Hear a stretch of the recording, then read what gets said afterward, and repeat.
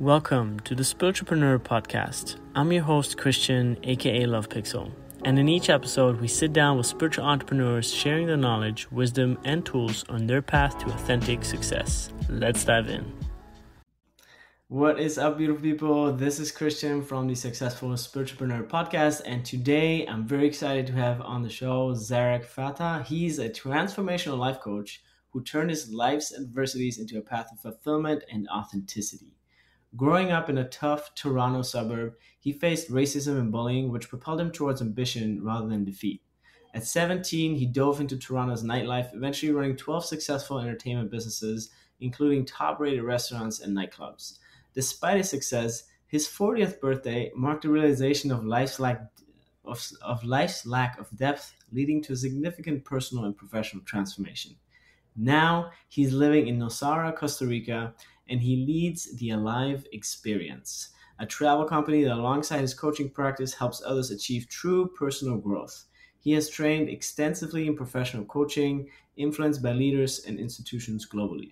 Zarak's coaching, recognized for its insight and depth, drives clients towards substantial life changes, embodying the transformative power of aligning with one's true purpose.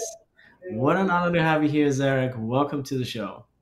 Yeah, thank you, Christian, for inviting me to join you here on your podcast. Looking forward to diving in with you. It's so exciting. It's just so cool to have people. My favorite guests on the show are people who really are kind of like 50 50 spiritual and like entrepreneurial, right? And I feel for me, like you fit that category so perfectly. So tell us a little bit about how you became a spiritual entrepreneur. I mean, I touched a little bit uh, on it in your intro, but I think it would be really cool to hear from you what really made you choose that path, right? Because you could have been an entrepreneur, you could have chosen to just like stay a hippie from now on, but you kind of like, no, you kind of want to go the middle path. Tell us about that. Yeah, thank you. Yeah, it's an interesting uh, transitional time in my own journey of choosing to begin the personal development uh, path when realizing at the age of 40 that even though I achieved a lot of success in the hospitality and entertainment industry, I just knew there was something else out there for me. And that's when I realized that I didn't know what was going to be required for me to change. So this is when I started to invest into personal excuse me and this is when I started to invest into personal development with attending retreats, different um, personal development focused uh, courses over the weekends, and working with coaches.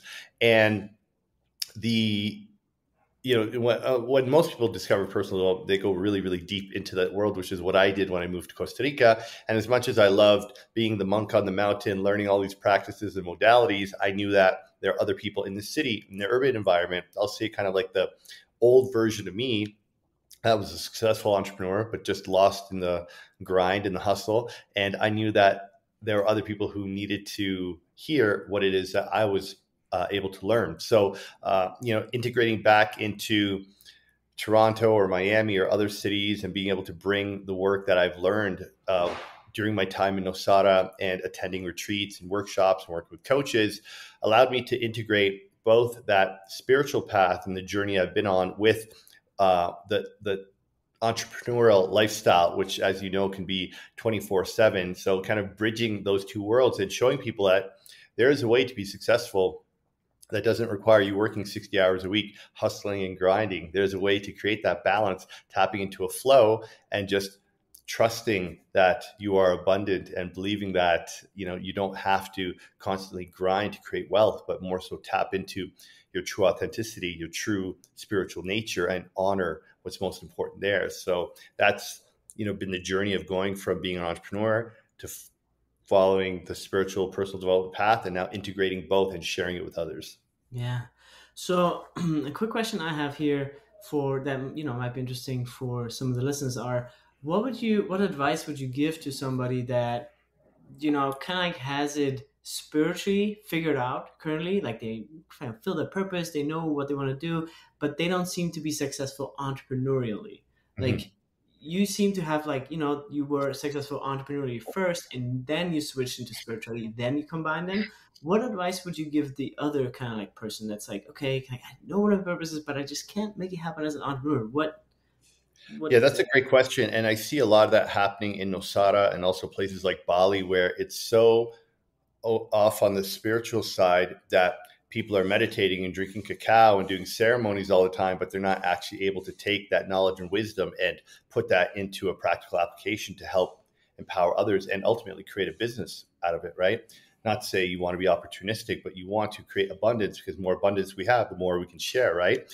And I think it comes down to managing the masculine and feminine energetics within us because the spiritual path can be very feminine, can be very flowy, can be very nurturing and emotional, which is necessary. But then you have to tap into that alpha, that, that masculine energy of being able to be structured and organized and disciplined and be able to have um, the ambition to make something of yourself and to spread your knowledge. And I think that, you know, in certain environments where things are very flowy, where things are very pura vida, things are very much, um, you know, of that feminine energy, it's it's necessary to know which environments stimulate you and then also which friends are you hanging out with you know? So they say you're the average of the five people you're hanging out with and if all the people you're with are drinking cacao and doing rapé every weekend it's like you need to be around people who know how to make shit happen right? So i think it's uh, the people you surround yourself with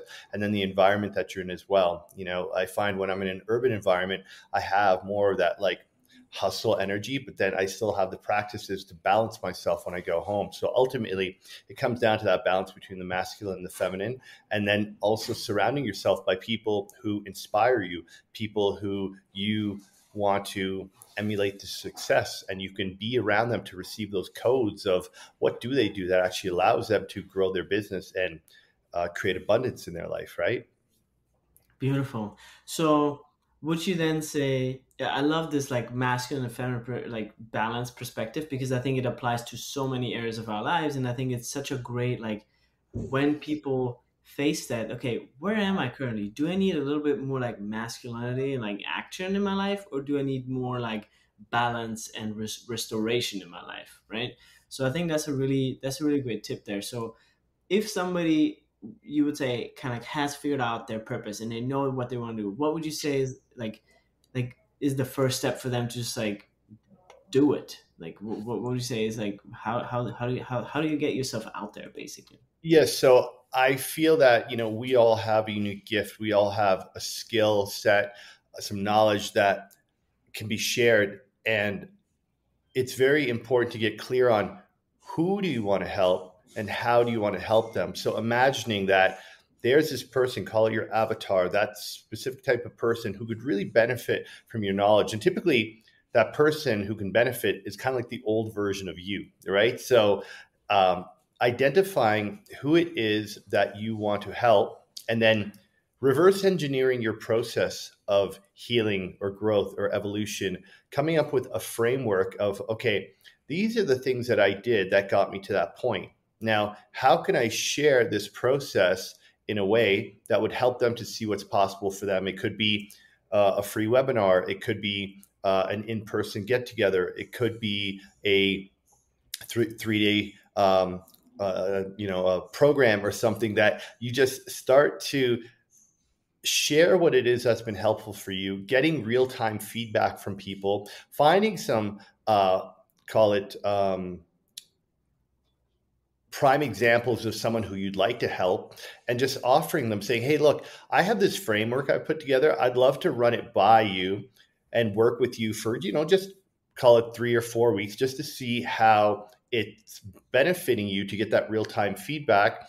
And then i have no doubt that if your process is effective and they're receiving great results from it then they will most likely want to hire you to continue on, right? So, um, testing it out, not being afraid to just give it a shot because, you know, it, regardless of what you think your coaching framework or process is, within the first three to six months, you're going to revamp the whole thing because you can have the idea as to what your coaching practice is, what your program is all about. But then once you start implementing it, you're going to get feedback from your clients to realize, oh, yeah, I didn't think of that. Okay, yeah, I should go back and switch it up. So just have that um, experiment, play around, find the people who you think you can help, and then just be of service, really be of service and uh, provide value to them because either they're going to hire you or they're going to re- refer you to someone else and you're going to get testimonials.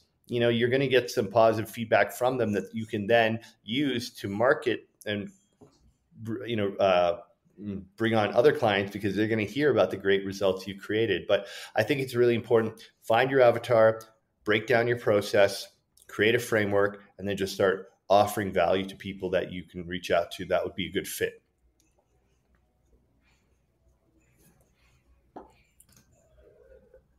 Great. Yeah, thank you for that. I think that's really that's really actionable and valuable advice. So, you know, this is really you know, it's really important. And so, talking about talking about your you know how you serve the world like what are your what are your products and services and offerings and like so basically yeah what do you offer and why do you offer it yeah, so I specifically work with realtors and entrepreneurs.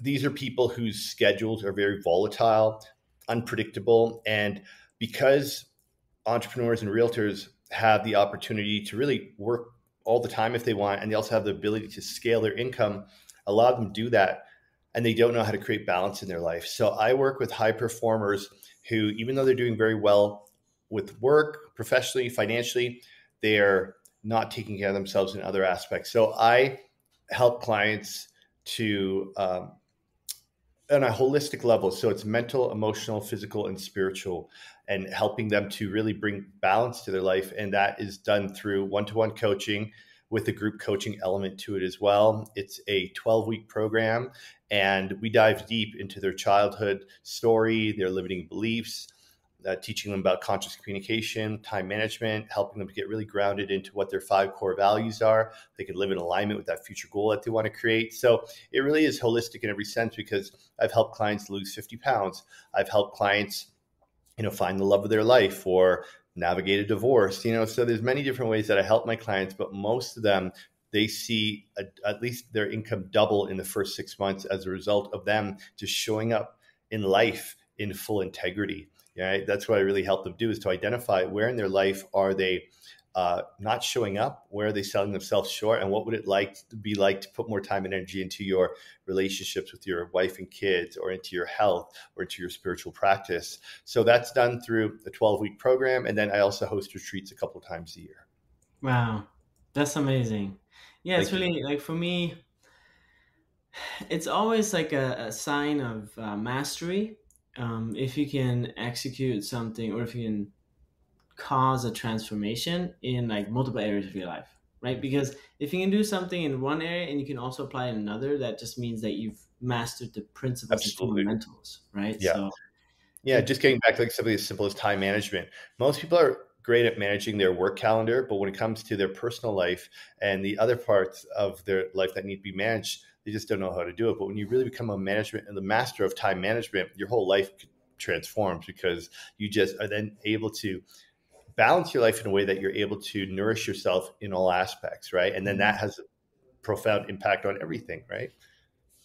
So let's let's let's talk about you know let's talk a little bit like about your intuition, right? Like masculine, feminine. I think intuition versus logic or and logic together is something that's really really beautiful so when did you last follow your intuition over your logic in your business and what was the outcome yeah so i would say that for the most part uh, i've always been very much in my head very much um, choosing from a place of fear and from scarcity and really uh, being driven very much by ego and i've been very successful in my businesses because that fear and that ego has been driving me. And I would say it's been in the last four or five years that I've tapped into my purpose and I've really been making choices more from my heart, from place of love and contribution and being of service that I've learned to just trust that God, universe, source, whatever word you'd like to use, um, is always providing me with everything I need right when I need it. So I've let go of that fear of, oh, like is this client going to sign or am I going to maybe make enough money this month or whatever else? And letting myself connect to my heart in those moments where I need to make a choice rather than using logic and trying to figure out it's either this or that. I lean into the intuition and listen to my heart and trust that I am abundant. I'm attracting the people that are aligned to work with me or the people that are aligned to be in my life. And if an opportunity doesn't work out, that's okay. There's something better waiting for me ahead, you know, and trusting that intuition of the signs, the nudges, the messages I get, as opposed to being so fixated on the logic and the numbers, trying to make sense of everything. I think that is a big, that's for me, that was a big um, progression of being able to shift from that place. You know, say the longest road you'll ever travel is from the heart to the head, you know, those 18 inches. And it's very true. So, you know, logic's in the mind, intuition's in the heart and in the gut. And the more you lean into it and trust it and you see like oh wow i was actually right. I knew the answer all along. The i think the more connected and attuned you become to that tuition intuition. So i really do let my intuition guide me now with with work even with clients. You know often i could tell like yeah no i don't think this client's a fit you know and um or i can sense especially with being a coach you know many times you have to listen to what's not being said between the words, between the sentences. And that's when the intuition is very necessary because you have to really read that person because we're speaking remotely, you know, over Zoom, and I can't necessarily feel their energy in in the in the um, in the real moment, but you you can feel into it based on what you're hearing, right?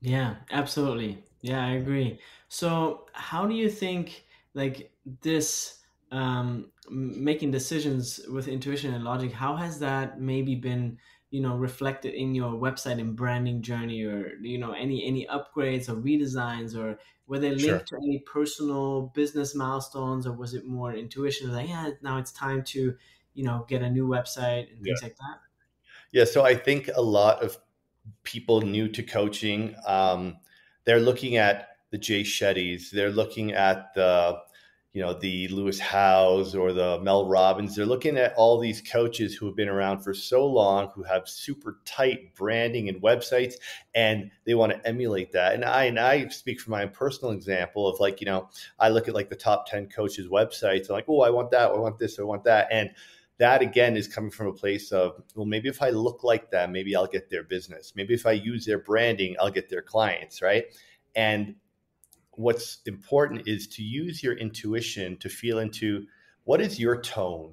What are your brand colors? What is the identity that you want to communicate authentically? Because if you're just ripping off someone else's brand or logo or colors or fonts or whatever it's not you you know it's not authentically you. And with the coaching space it's so important that your clients they like they resonate with you. They see your site, they see your branding, and they're just like, this guy speaks to me. You know, there's something about what he's putting out there like that, like I feel connected. So that resonance is super important. So if you are not communicating yourself authentically, trusting your intuition, trusting your gut, and creating your own brand, then you're you're taking away from the resonance that a client can feel towards you because they're not getting the realist version of you on your you know on your um,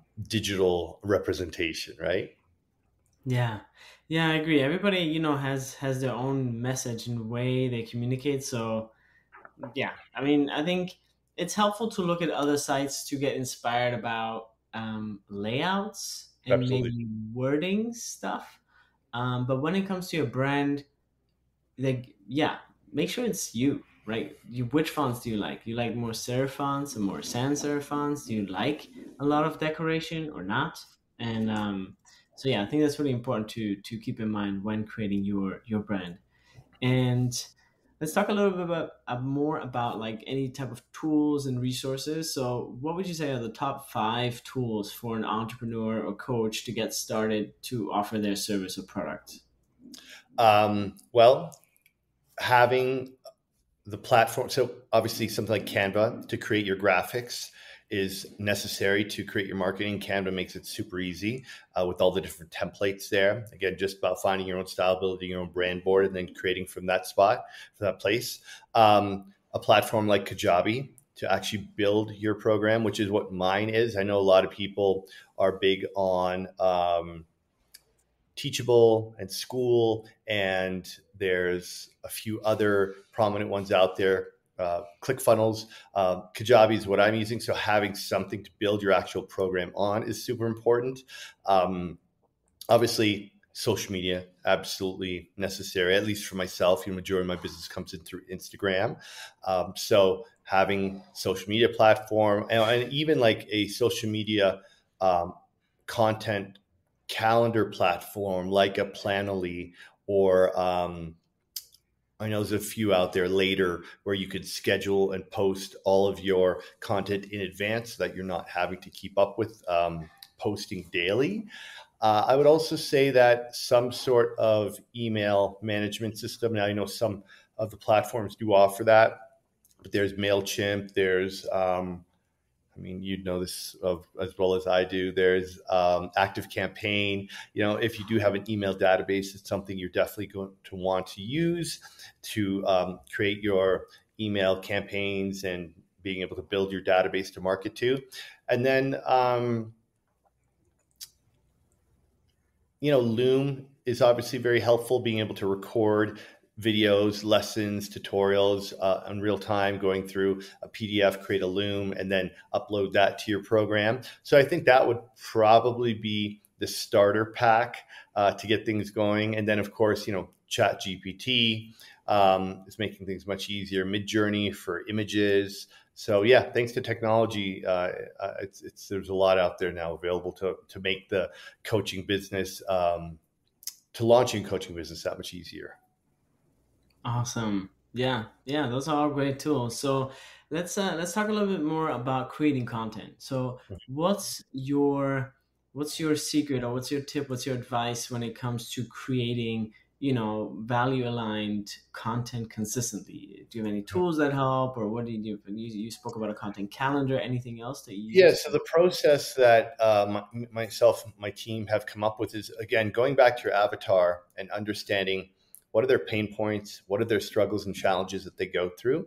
And writing a number of those topics down and then also writing down certain things that you have overcome that have been helpful for you um, and creating those content topics. And then what we do sometimes is if i'm let's say talking about money mindset and how i had to overcome a money mindset to create abundance in my life i will use my iphone and dictate um, a bit about my journey, about how I've come overcome money mindset. And once you have that voice note dictation, you can then transcribe it. Um, once it's transcribed, you can then edit it in ChatGPT to shorten it up. Um, and then you've got your caption. And then it's about whether you want to create a photo, um, whether you want to yeah, take a photo, what do you want, whether you want to create a graphic in Canva, uh, if you want to make, you know, just put it a simple text. I mean, there's many people who do that, and that works well. I, being a photographer and content creator, I love beautiful imagery, so I'm my my page is more image driven. But I'd say f- having your different verticals uh, or different buckets of what it is you speak to, creating topic lines, top subject lines for each one, and then either using voice dictation or just blocking off hours during the week where for two to three hours you're just in that flow and you're just either dictating or, or typing or writing, however you like to create your content, and allocating the time for it. And I like to batch content where if I'm creating content twice a day, twice a week for you know two three hours at a time, that'll last me for weeks. You know, and because we're now putting content on all five platforms, there's a lot of content that we're creating. So being prepared, being organized, booking days off to shoot content, having a videographer, a photographer booked, having a space booked, having all your content ready, being prepared and having all that content, at least the headlines and bullet points scripted in advance, will make it far more efficient and you'll come up with more effective content. So that for me has been a game changer is just being intentional, uh, planning in advance, and then just also listening from the feedback from your um, clients. Like often, my clients give me the best topics to speak to because that's actually what they're dealing with. They're actually going through that problem. So I know if they're going through that problem, other people out there are. And most importantly, just speak from a place of service create content from place of value without expecting to get anything back. Just putting out there whatever you can, hoping that it helps people, knowing that if it resonates with some people, yeah, they might reach out to you to book a call. They may want to dive deeper with you on what it is you shared because you know you've already provided great value for them. Awesome. Yeah, these are great tips, and I love the the workflow that you have with the with the recording the audio and then putting it into ChatGPT. That's that's super helpful. So let's talk about let's talk about your legacy. What are three words that you want people to know you for after you leave this physical plane? Creating better parents. mm. I don't know if they have to be three individual words or just three words to sum something up, but you know, I believe that when men and women are feeling whole and complete, when they've created balance in their life, when they are showing up for themselves, they're showing up for their loved ones. And I know what it feels like to grow up with parents who are struggling financially, who are arguing a lot and don't know how to communicate with each other. And when the men and women that I coach do their own individual, deep personal development work, they are better humans, they're better husbands and wives, better mothers and fathers, and they're just they're they're helping to heal that next generation. And that is something I'm very proud of because I know that my legacy lives on in the children of my clients. I know that their kids are going to be different humans by way of the work that me and their parents do together. You know, so that's something I'm very proud of because I see it already happening with clients I've worked with for a few years. I see how they're showing up for their children in a different way, and that's something I'm really proud of for sure. Amazing. So, talking about children, let's talk about your vision for the new earth. What is your vision of the new earth? I see that people are definitely becoming more conscious and aware. I, I feel that people are definitely seeing through the veil of the matrix that we've really been born into. You know, I feel that um, it's a very interesting time on planet Earth where the paradigm that we were born into, the the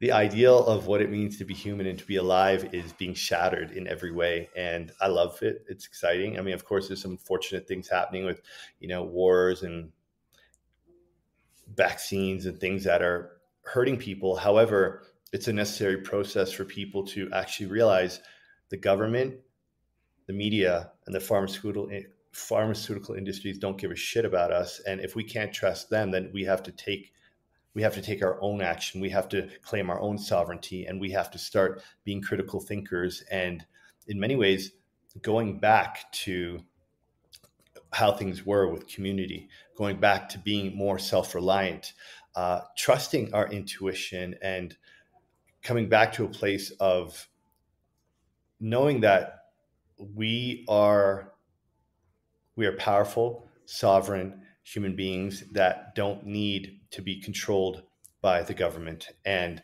the media and that you know energy and our ability to manage our vibration and frequency is a key to staying healthy. But in order to do that, we have to be self aware. We have to know what elements out there will poison us and make conscious choices to live a more holistic life and, you know, just cut out the bullshit and the distractions. And I think we're living in a very pivotal time on planet Earth. And I, I'm excited to see what comes next because I think that out of this, we're going to be more conscious, more loving, more connected, and uh, healthier for sure. Love it. Yeah. Kudos to that. Aho. I love it. So we're coming towards the end of the episode, and I always love to give the last part over to the guest of the episode and really just like give them a space to like vision and call things in. So, what would you say are your future goals as a spiritual entrepreneur, as a brand, and what are you looking to call in? Yeah, I um, I take great pride in the fact that my clients are now turning around and coaching the people in their life. You know, I love the fact that my clients are now being the light for those in the darkness, and I see it being that you know it's the ripple effect that I have been taught by some brilliant, brilliant people, and now I'm taking what I've been taught and I'm sharing it with the world, and so are the people that I work with, and ultimately you know, I'm building a community of conscious entrepreneurs who realize that there's more to life than just the hustle and the grind and the big house and the fancy car. And given my background in entertainment and hospitality, I do see that eventually I will build my own community because I love architecture and design and I love bringing good people together. So I would love to build a community of like minded individuals, uh, whether it be here in Medellin, Colombia, or in Costa Rica, and have it be a place where people can either live or come and visit or come on vacation and learn about breath work and learn about the modalities and the different uh, lessons that I teach through my coaching because I want to make what I've learned as available and accessible to as many people. So of course I'm going to keep growing my online business and keep, you know, scaling my impact uh, offering what I can to as many people. But ultimately, I do want to have a place where I can bring people to and they can come and drop in for a week or two and really have a deep transformational experience because that that really lights me up. You know, I love curating unique experiences for people that are truly life changing. So I see that happening probably in the next Amazing. five years. Um, so still trying to figure out where in the world it's going to be, what, but probably what, somewhere what in Central or South America know, for sure. Beautiful. So what would you say are, you know, the, the, the words that when you want to leave the audience with and where can people find you? Mm, yes. So, you know, for the entrepreneurs who are out there, or for you know, uh, well, you know, I'll say more so for the coaches, for potential coaches who are beginning their journey. You know, I've been into this for um, almost about six years now, and it is a roller coaster in the sense that nothing will teach you more about yourself. I, I don't think there's any bigger personal development journey than actually becoming a coach and what you'll go through. And there are times it's going to be hard, and there are times you're going to want to give up, and times where nobody's going to answer your call to actions. And you just have to remember that you have a gift, you have some knowledge, you have wisdom that somebody out there needs to hear. And when you find your people, when you find your tone, your voice, and you're able to speak from a place of truth and authenticity, you will attract the people to you. And it's a journey to actually find your voice. It's taken me quite a while, but it's about again peeling back those layers and just seeing what shit am I holding on to? What what am I still, you know, not um, allowing to come through? So really allowing yourself to just be open and vulnerable and courageous and just lean into that and don't try to be like the other coaches and influencers out there. Just try to be yourself you know don't try to be yourself just be yourself. And um yeah and it's it is a journey it's a process but it, it when you when you figure it out things just start to happen things start to click and it's a beautiful process. And for those who want to learn more about me or what i do you can find me on instagram. Um, just my name zarak fatah. My website same zarakfatah.com um, yeah and yeah feel free to reach out follow me check out what i do. I also have a podcast called the path to purpose um, YouTube channel, all that good stuff. I'm sure we'll put it down below. So, yeah, if you want to know more about me, check my links and uh, reach out if you want to chat more. Yes, amazing. Well, definitely check out you know Zarak's uh, gifts and you know service to the world. You know he does incredible work, and yeah, it's it's an honor to have you on. So thank you so much for being on the show, Zarak. Appreciate it. Thanks, Christian. Beautiful. To to the new earth to the new earth. Yeah, it's coming. We're here. Yeah. I love it. All right. Thank you. Thanks for being Thanks. on the show. Thanks.